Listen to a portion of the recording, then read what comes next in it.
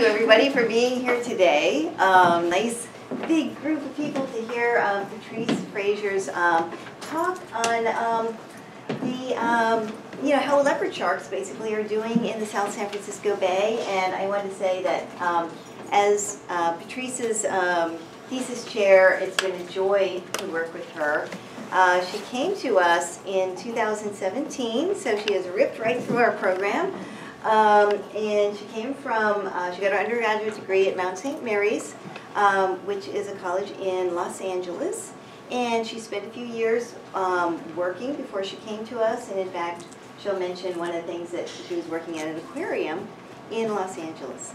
Um, and so uh, she is going to tell us today um, about um, uh, the work that she did to help us understand how this wonderful animal, uh, the leopard shark, uh, native species in San Francisco Bay, is doing. And she did an excellent job of um, being part of the data collection, but also analyzing a very large data set. And if you've ever had to do that, you know, you, you go, wow, lots of data, you know, and then it's like, oh no, lots of data.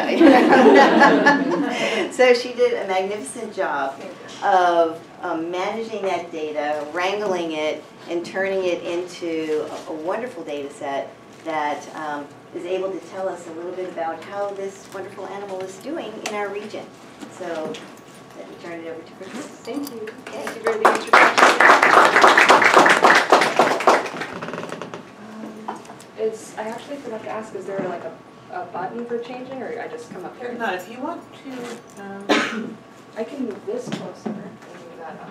The other thing is I can, I can sit up there and change if you want me to do that. Um, it's if, okay. if you just put it on there, Yeah, that's I've got, most convenient. sorry, I should have thought about that. No, I'm good. Just Pin that over here, see if you can make it. You good? Yeah, there we go. Okay, so Get a wrangle, okay.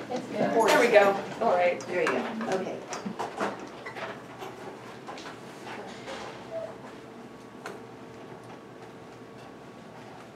Ta-da. Okay, work? Yep, that works. All right. So, hi everyone. Thank you very much for coming today. I'm happy to see everyone here.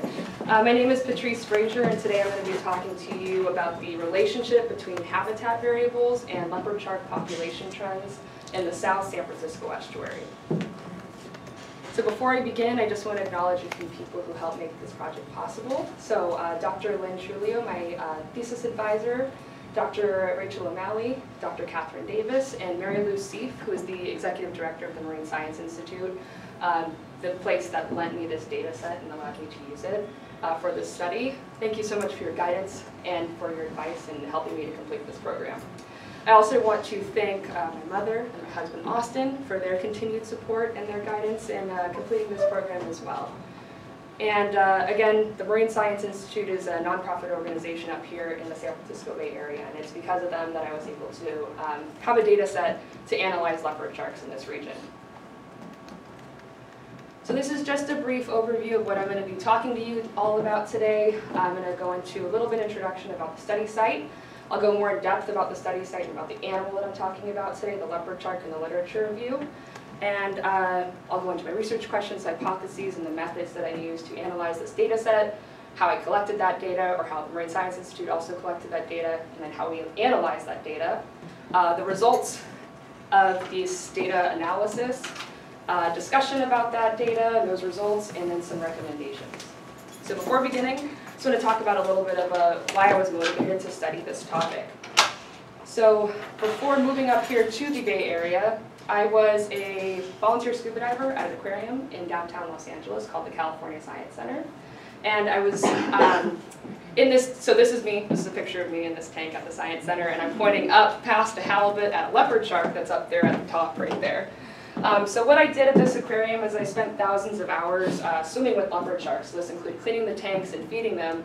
And at first I was a bit apprehensive about having to get in the tank with sharks, but after spending you know many hours with them, uh, I really developed a bond with this animal species and developed a very unique bond with them over this time with them. And um, I wanted to do more to help people break down this, this skewed perception, skewed um, outlook that we have on these sharks, and I wanted to do more to just help people have a better, have a better view of them and treat them better overall. So this is the area where I can, uh, where the data was gathered for this study. This is the San Francisco Bay Estuary. And the reason that I'm calling it as an estuary is because of three things. An estuary is defined as a, a body of water that has brackish water. And what brackish water is, is it's this combination of both salt and fresh water. So it has a very different composition from that of ocean water. Ocean water uh, salinity, which is how much salt is in the water, it's about 35 parts per thousand. That's the unit that's used to know how salty the water is. And in the estuary, it ranges from 0 to 36 parts per thousand depending on season and depending on where you are. So this region is uh, a lot different, has a different makeup than the Pacific Ocean does. Um, on top of that, so it's uh, brackish water inside of this estuary. It also is a nursery, and it also is semi-enclosed. So the only way that the Pacific Ocean can get into here and give salt water to this estuary is from underneath the Golden Gate Bridge right here, so San Francisco and Sausalito area. So that's the only way the Pacific Ocean gets in. Um, so for the duration of this talk, I'm going to be referring to this area as the San Francisco estuary or just the estuary, just because that term does a better job at defining the complexity of this estuary delta ecosystem. It's also referred to as a tidal marine estuary because it's, uh, it has influenced by two high tides and two low tides each day. Um, so this mixing of saltwater and freshwater resources in this area makes it extremely productive and biodiverse. And um, it is the, also the largest estuary ecosystem on the western portion of the Americas. A little bit about the hydrology of this area. Up in the north, so way up here, we have the delta area. So the delta area is freshwater. Uh, it drains about 40% of California's watershed. And so this is an area also that provides a lot of California's drinking water.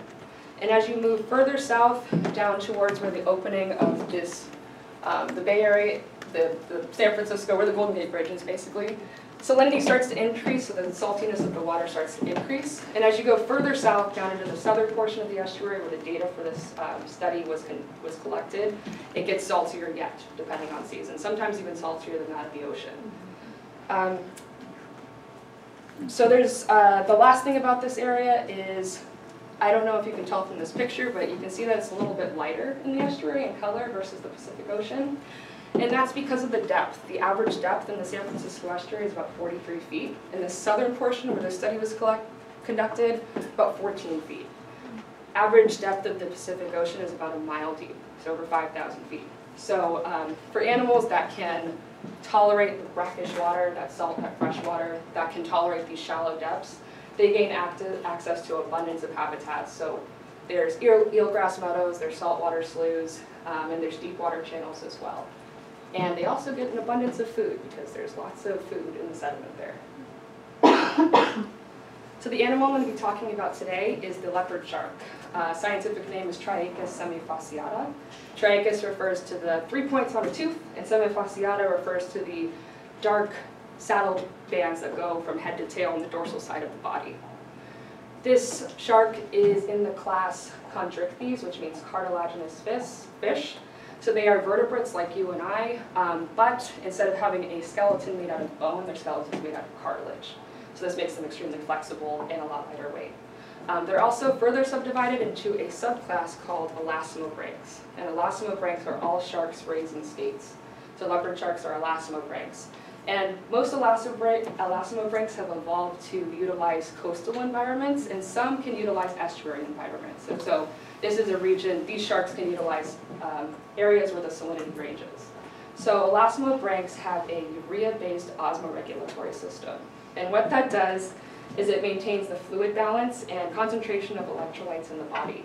So an imbalance in the concentration of electrolytes in their body can lead to stress on the cells as they try to maintain an internal balance equal to that of the water around them. So sharks have a very, I mean, a, a better osmoregulatory system than their, their peers, and so they are able to utilize estuary environments. And the term that we use to define this is they are partially euryhaline, so they can withstand a range of salinities, but only up to a point. They are, um, the International Union for the Conservation of Nature has determined that this species is a species of least concern, which means that their population status is um, not threatened. They are, uh, this is most likely, well, also partially due to the fact that um, there are multiple, there's a, in California, there's sport and commercial fishery policies that have been helping to maintain the population status. There's a three bag limit, three bag daily mi- limit, they're a very popular sport fish. There's a thirty-six inch size minimum on all catches. And there's also a ban on this um, bottom set gill net. What, what this, these bottom set gill nets were doing is they were really hurting the population of these sharks because these sharks like to use the front part of their face, their nose area, to look for food at the bottom of a water column. And when they're down there, they're especially susceptible to these nets at the bottom. So it was really hurting the population status in the 80s and 90s. They're also a K-selected species. This means they have a low fecundity. That means that they have a low, um, they don't produce a lot of offspring. They have a late age of sexual maturity. They don't sexually mature until halfway through their life. Um, and they uh, have a very slow growth rate. Leopard sharks are one out of 11 species of shark that utilize the estuary year-round. They are a native resident species that's been found in 1,500-year-old native indigenous sites around the Bay Area, including the Stege Mounds and Richmond. So they've been here for a very long time. Um, and they, these leopard sharks utilize the southern portion of the estuary and different regions of the estuary as primary and secondary nursery habitat. So that means that they will go to these nursery regions within the estuary, um, give birth, and then their young will utilize this region until they're big enough and strong enough to enter the deeper portions of the estuary safely. They are the most abundant shark that's caught in the estuary, and they're the most frequent shark caught by the Marine Science Institute, and therefore they're the most reliable species to analyze for this study. This is a picture of one of them from the, um, that baseball stadium in San Francisco, The Giants, Carolina. Uh, so another reason, aside from swimming with these sharks uh, in, in downtown Los Angeles uh, for thousands of hours for about three and a half years, when I moved up here and started this master's program, I started seeing articles coming out in National Geographic and NBC that there was this elasmobranch die-off going on in the Bay Area. So this is where um, these species, these shark species were showing up dead on the shores of the estuary. And in the year 2017, between 1,000 to 2,000 sharks showed up dead on the shores of the estuary. So this kind of motivated me to, to look a little bit deeper into what was going on here. And I also was employed by the Marine Science Institute around the same time. So this gave me a really unique opportunity to look at their population status over time. A little background research on these die-off events that have been happening. Since 1957, these die-offs have been reported in this specific area, so in the San Francisco estuary area, and it tends to follow heavy rains. Uh, the 2017 die-off that happened was, people did not know what was causing these die-offs. In 2017, uh, this was the first year where the die-off was determined to be caused by a protozoal pathogen called Miamiensis avidus. And what this pathogen, pathogen does is when it infects um, its victim, the infected sharks can be seen swimming irregularly, they have convulsions, they're spinning, and they um, will swim towards the shore without taking notice of anything that's in their path, and ultimately beach themselves. And when people have tried to pick them up, put them back in the water, they end up turning around, right back around, and within five to 10 minutes, they're back on the shore. And they ultimately do die from their um, infection. So the objective of this study was to analyze the leopard shark population over time according to the Marine Science Institute's index and to analyze habitat variables that relate to them. So this is salinity, the water temperature, and precipitation, uh, particularly surrounding years in which these elasmobranch die-off events have occurred. So a little bit about the life history of these sharks. They are a, leopard sharks are schooling sharks. Um, and so what they do is they form schools of similar size and sex. So juveniles stick together, females tend to stick together, males tend to stick together. Um, a study that was conducted by Lewallen et al. in 2007, he was doing a study on leopard sharks that live in bays and estuaries along California's coast. And what he found is that there are multiple genetically distinct subpopulations of sharks that are separated geographically. Uh, so he concluded that there's very little population exchange between the southern and the northern California stocks. So we're thinking about California where Elkhorn Slough, Monterey Bay is. Those sharks from Elkhorn Slough, Monterey Bay all the way up to Humboldt are more genetically similar to each other than those that are from Santa Barbara all the way down to Mexico.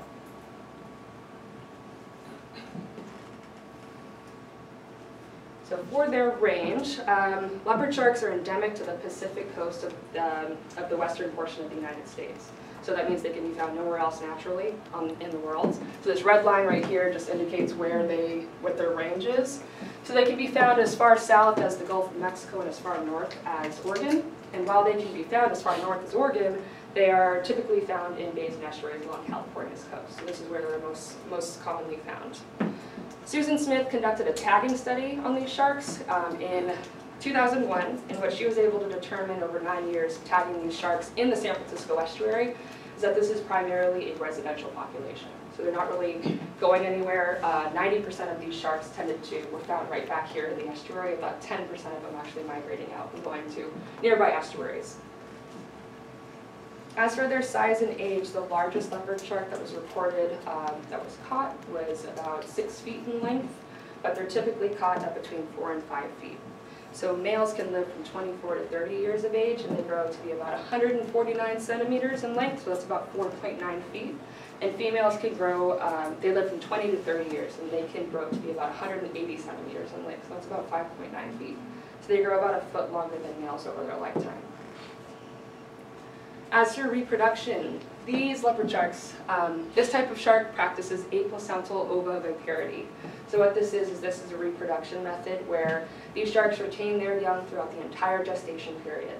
Um, that's 10 to 12 months. So they've got little sharks um, developing inside of them, and when it's time to give birth, they give birth to between 7 and 36 fully developed pups. And these pups are between 7 and 8 inches in length, um, and they're fully capable of taking care of themselves. They don't need the mama leopard shark to stick around. So they utilize these nursery habitats, such as the southern portion of the estuary, as um, a place to uh, grow for about halfway, halfway of, of their life. So about 10 to 15 years, they'll use these areas to feed and to mature until they're ready to venture into the deeper portions of the estuary. They, uh, females sexually mature between 10 and 15 years of age, and males sexually mature between 7 and 13 years of age. So this isn't until halfway through their life that they're sexually mature and reproducing. Multiple studies have also indicated that these sharks practice natal philopatry, which is this practice of staying or returning to your, uh, your place of birth. And so the reason that this is significant is because alterations to habitats, um, physical alterations to nursery habitats, can have drastic consequences on the population structure of a species that practices natal philopatry. As for these, their diet, these sharks are benthic foraging opportunistic omnivores, which basically means they will eat anything that is readily available. So for the sharks that reside in the San Francisco estuary, this includes a range of invertebrates such as clams and shrimp and mussels and worms and uh, crabs. They'll even eat plants, algae and vascular plants. They'll eat fish, they'll eat fish eggs, and sometimes they'll even eat their, um, they'll even eat fellow elasmobranchs that are in their area. So other types of sharks and rays and skates that are around them. And their diet just ranges by their size, so how big they are, what they can fit in their mouth, their location, where they are when they're hungry, and their food availability. They'll just eat whatever's around. So they've got this mouth that's underneath their body, so They're just foraging in the sediment for their food. As for abiotic factors that uh, relate to these leopard sharks, salinity and precipitation go hand in hand. So uh, an increase in precipitation will result in a decline in salinity in neighboring waterways. So uh, when you have heavy rainfall, the salinity, the saltiness of the water goes down. These sharks being partially euryhaline, meaning again that they can stand a range of salinities but only up to a point, um, this, this relates to them. So a study that was conducted by Hopkins and Cech in 2003 in neighboring Tomales Bay, which is up north in Marin County, another area that leopard sharks utilize. Um, this study was looking at how abiotic factors influence leopard shark abundance in this area. And what Hopkins and Cech found was that when salinity levels um, got low, these leopard sharks would leave Tomales Bay, and they wouldn't come back until they were tolerable levels again. Another study that was looking at how salinity affects leopard sharks was conducted by Dowd et al. in 2010. And they did this in a laboratory setting.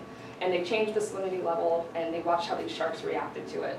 And what they determined in their study was that uh, when salinity levels were dropped below 18 parts per thousand, so again, Pacific Ocean about 35 parts per thousand, so almost half of that, um, these sharks would begin to go into osmotic stress. So this is that inability to maintain equilibrium with their external environment. Uh, studies have also noted that there's been no occurrence of leopard sharks in bays and estuaries when salinity levels are below 14 parts per thousand. So that's uh, 50% lower salinity than the Pacific Ocean. As for temperature, these sharks are ectothermic, which means that they rely on uh, temperature to maintain internal physiological processes such as metabolism and gestation. So higher temperatures, Miklos et al. in 2003 determined um, that higher temperatures increase the rate of metabolism for these sharks and also increases the gestation rate. So these female sharks will go to warmer waters uh, when it's almost time to give birth. So it quickens up their gestation rate. Hopkins and Cech again, that study that was conducted in Tomales Bay looking at how abiotic factors affect leopard sharks, his, their test um, determined that when temperatures went below 10 degrees Celsius in this region, these sharks would leave. So again, temperature is determining these sharks' movement patterns in a specific bay. And when temperatures were again above 10 degrees Celsius, these sharks would come back into the bay. In a related study that had a very similar study design and was conducted in the same region, this was conducted by James Hobbs, Jonathan Cook, and Patrick Crain of the Department of Wildlife, Fish, and Conservation Biology. They were looking at how leopard sharks are faring amidst these, um, in, the, San- in the South San Francisco estuary region, amidst these ongoing salt pond restoration project that's going on there. So this involves 1,500 acres of former salt production ponds that are being converted back into tidal marshland. And they wanted to see how these sharks were faring amidst these changing abiotic conditions in the South Bay. And so from 2010 to 2014, Hobbs, Cook, and Crain, they found that leopard shark abundance in this region was dependent on three things. It was dependent on salinity, it was dependent on season, and habitat preference. They also found that their leopard shark abundance was lower in winter months, and they define winter months as January to March, versus spring through fall months, which they define as April to December. So these sharks are in higher, higher abundances in this region um, during the spring to fall months. They also found that salinity had the highest effect on leopard shark, uh, leopard shark occurrence. So when salinity levels were below 14 parts per thousand, um, the leopard sharks were nowhere to be found. Uh, so there have been very few people who have actually investigated or submitted formal reports on these elasmobranch die-offs that have been happening in this region. In 1967, Ronald Russo and Earl Herald uh, published an article in the California Fish and Game Journal following a die-off that happened in that year. And they titled this article the 1967 Shark Kill in San Francisco Bay. They determined that four elasmobranch species were affected, with leopard sharks being affected in the highest abundances. There were about two and 300 sharks that were affected in this 1967 die-off. They uh, reported that there was this abnormal swimming behavior where these sharks were spinning and having convulsions and spiraling. And they also reported that these sharks were beaching themselves. And they would pick these sharks up, put them back in the water, and they'd end up coming right back um, to shore and ultimately dying from their, um, whatever it was that was affecting them. They didn't know, they were just reporting on this. So in 2017, again, um, Dr. Okihiro of the Department of Fish and Wildlife and Hannah Redelack were responsible for determining that there was a parasite that was found in the brain tissue of these sharks um, that were showing up dead in 2017. And what Miamiensis avidus is, this is that parasite they found in the brain tissue. Um, what it is, is it's a common parasite in benthic schooling fisheries. So it was pretty common, I did some research and found out that it was really affecting fisheries in Korea, so olive flounder fisheries in Korea. So there were some articles that were reported on people who were losing money. They were like, you gotta do something about this, this parasite is just completely decimating our olive flounder fishery, you gotta figure out what's going on.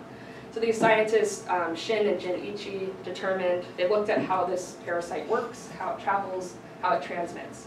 And they found out that it enters the skin through the, it enters the host through its skin or its gills, and then it spreads via the blood throughout the organism. And this ultimately results in the consumption of the organism's blood, its skin, and its internal organs. And mostly, most of the time, almost 100% of the time, it ends in fatality. Um, and they also determined that schooling fish are especially susceptible to rapid transmission of this parasite because of their proximity to each other.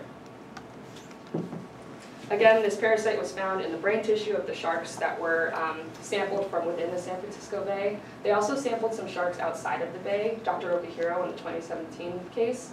They, they sampled some sharks outside of the bay and they didn't find any remnants of parasite in those sharks that were from Pacifica and from Elkhorn Slough in Monterey Bay. And per communications with Dr. Okihiro, I reached out and asked him, you know, have these incidents been happening in any other bays and estuaries along California's coast? And he said no, not to this degree. And um, they also haven't tested it, there's very little research on it, but he said nothing to this degree has been happening anywhere else in California. And so I won't be studying this pathogen directly in the study, I'm going to be looking at abiotic variables and leopard abundance surrounding years in which these die-offs occur.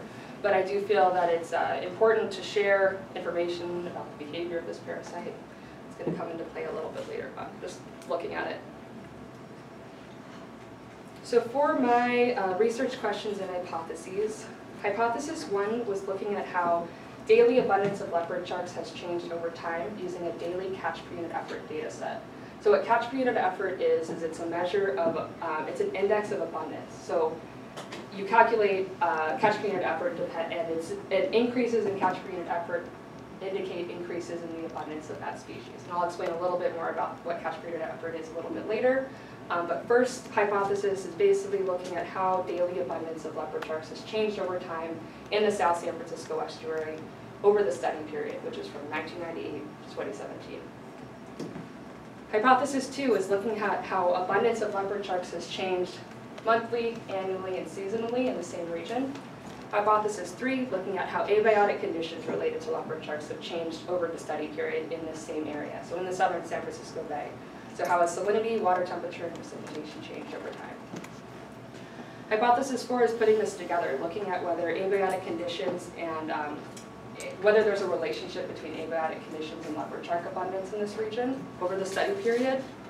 And research question one is just looking at how, um, whether the, the pattern of major leopard shark die-off seems to match the pattern in abiotic factors. So for the methods, uh, this data set was collected primarily by um, instructors from the Marine Science Institute. I'll tell you a little about, bit about them in just a minute. So data was collected in the southern portion of the estuary between 1998 and 2017. Um, this is a blurry map, a little bit blurry, but this is a map showing the southern San Francisco, southern portion of the estuary. Data was collected in between these two bridges. This is the San Mateo Hayward Bridge, and this is the Dumbarton Bridge. The water temperature in this region ranges from 16 to 21 degrees Celsius. The salinity in this area ranges from 15 to 36 parts per thousand, so it can get sometimes higher than that of the ocean, um, of the Pacific Ocean salinity. In this region, uh, it's typically shallower, warmer, and has higher salinities when compared to the northern and central southern of the sections of the estuary. For data collection, data was collected by the Marine Science Institute, which is a nonprofit um, environmental education organization that's located in Redwood City, California. It was founded in 1970 by Bob Rutherford amidst air and water quality concerns in the Bay Area. And he was, his idea was to create a curriculum where you could bring students out and you could really educate them on the importance of protecting this estuary, to really got to hold back where you touch a shark or understand that plankton are more than just a figment of your imagination. So um, this is what this place is doing. And I was employed there between 2017 and 2019. So I helped gather one year of data for this study. So. Data was primarily collected on board the research vessel, the Robert G. Brownlee. And the reason why my um, study was from 1998 to 2017 is because this ship was put into, um, it started operating in 1998. It was built specifically for the Marine Science Institute. So from 1998 um, and on, this is the boat that's been used to collect data in the southern portion of the estuary. In order to catch marine species, um, what we would do is we would deploy an otter trawl off the stern of the vessel, so that's at the back of the boat. So up there you can see there's a little drawn boat. Uh, we'd have the students push the trawl off of the boat and we'd tow the trawl behind the boat at a speed of two to three knots for either five or 10 minutes, and this is depending on the length of the program. And what happens is these marine species get caught in this net as we're coming by, and they make their way to the cod end of the net. And so as we, at the end of the trawling, we have the students. This is just a little description, picture-wise, of how we put the animals on the boat. Um, we'll have the students pull in the trawl. Two instructors will pull the trawl onto the boat. So this is the cod, the cod end of the net with some species in it. You can, there's like a little battery in there. And then we will put these animals in a porcelain tank that has continuously flowing bay water in it. So this is so that it can match the conditions on the boat to that of the ones that the animals just came out of so we don't shock them. And then we get to work um, identifying the species, measuring these animals, and um, recording all of that data, and then putting the animals back into the estuary at the conclusion of the program, most of them. Salinity and water temperature data was collected by the United States Geological Survey. It's available on their website. So they have uh, hydrology meters all throughout the estuary. I chose Station 30, which is called Redwood Station, uh, Redwood Creek Station, sample Station 30. And um, I chose that because it's in proximity to the study site. The depth at mean low water at this site is 42 feet. So I know I said that the average depth in the South Bay is about 14 feet. And this is actually located in a deep water, deep, deep channel that goes through the center of the estuary. This is what allows those really big cargo ships to get in and out of the estuary. They've got to get in there some way. So they make this deep water channel, they dredge. So this is in that dredged deep channel right there. And water quality measurements are measured from 1 to 13, in 1 meter increments from 1 to 13 meters, so all the way down to the bottom. Precipitation was collected from the National Oceanic and Atmospheric Administration website, and they have uh, multiple stations throughout the Bay Area where they collect to determine how much rainfalls, um, how much rainfall's been going on by day, by month, or by year. And so I collected that data from their website, and I used the San Jose location because of its proximity to the study site. A little bit about catch per unit effort. This is the measure of, this is the index, this is the way that I measured abundance of these species. And so how catch per unit effort works is I use the formula up here at the top to calculate catch per unit effort based on this data set that I got from the Marine Science Institute. So I got this big Excel sheet from them that basically had, we caught three sharks on Monday, January, blah, blah, blah, 1998. Um, and we put in this much effort to catch it. We went, we put three trawls out for an hour in length. And so what I'd have to do is if I wanted to, I needed to look, I had to calculate catch per unit effort to determine whether abundance has changed over time. So I take the number of sharks that were caught by day, by month, by year, whatever I wanted to look at, and divide that by the amount of effort that was put in to catch those sharks. So again, increases in abundance indicate increase, or increases in catch per unit effort, which comes out as a number. Um, 0.083, for example, that indicates an increase in abundance of a species. It's a common um, tool used in fishery statistics. So for data analysis, hypothesis one is looking at the daily abundance of leopard sharks over time. So I calculated daily catch unit effort data set, compiling all the years, all the data points from 1998 to 2017. And I performed a Spearman rank order correlation test on that data set. For hypothesis two, this is looking at um, whether abundance has changed by month, by year, or by season.